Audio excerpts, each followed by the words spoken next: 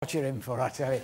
now, though, to the young tenor who over the past few weeks has enlisted the help of the AT show to find a leading lady for his new touring production, A Night at the Opera. Last Monday, you voted Olivia as your winner. And here she is in action with my next guest.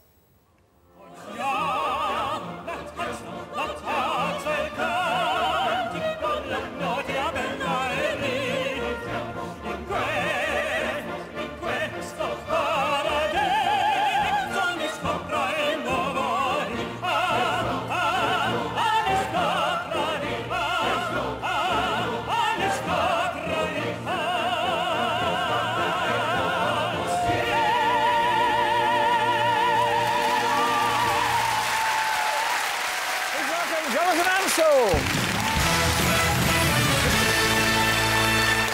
We were so busy finding someone to sing with you, we kept sort of forgetting that you were singing the whole thing the whole time as well. But you must be thrilled that you've now got someone you can work opposite. And Olivia seems a sweet girl. She is, she is. We, um, we had a great time working with both of them, but now set into rehearsals with her and uh, meet up with the rest of the cast and can't wait to get on the road with it.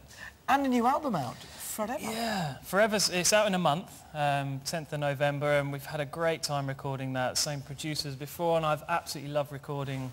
Um, again, it's wicked to be in the studio and put tracks down. It's a really, really fulfilling thing, but to perform live is, is the best part, so it's nice to now get the chance today, I think, to do a one. It must have been a nerve-wracking moment when G4 split up. You four guys, you know, you were doing hugely well. You split up and then you're out there on your own and suddenly you can't look round for the other guys because they ain't round you anymore. Very Tough. true.